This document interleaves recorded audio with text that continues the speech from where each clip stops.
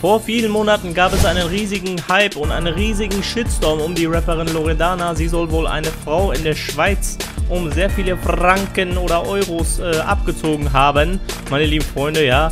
Bislang sieht es so aus, als hätte dieser Shitstorm ihre Karriere gar nicht geschadet. Ganz im Gegenteil, sie blüht noch mehr auf und äh, ihre Klicks und äh, Verkäufe gehen noch mehr in die Höhe, meine lieben Freunde, ja. Also der Shitstorm oder besser gesagt die ganze Angelegenheit hat ihr mehr was Positives gebracht als was Negatives, würde ich jetzt mal so sagen. Wie ist jetzt gerichtlich und äh, ob sie da irgendwelche rechtlichen Schwierigkeiten hat, da werde ich bestimmt auf jeden Fall da geht es bestimmt natürlich ab wie bei der Love Parade, meine lieben Freunde. Aber ihrer Karriere hat es auf jeden Fall nicht geschadet, meine lieben Freunde. Sie wird wahrscheinlich irgendeine Geldstrafe bekommen, aber ich denke mal nicht, dass sie in den Knast wandern wird. Ja, die ist, denke ich mal, nicht vorbestraft. Von daher ist sie, glaube ich, äh, ziemlich safe, würde ich mal so sagen, ja.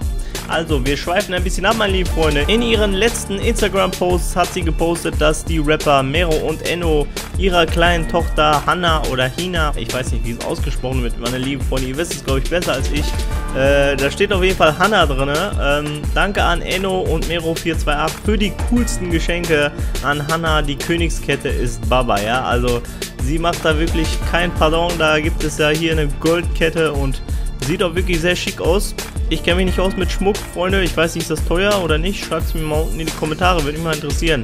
Auf jeden Fall sieht dieses Anzug von dem Kleinen oder von der Kleinen nicht sehr Gucci-haft aus. Also ich denke mal, das ist ein ganz normales, bodenständiges kleines Baby. Ja, richtig süß, meine lieben Freunde. Jo, meine lieben Freunde, das war's mit diesem Video. Wenn ihr Bock habt auf mehr, könnt ihr mir gerne ein Abo dalassen. Zieht euch die anderen Videos rein und ich würde sagen, Peace and out.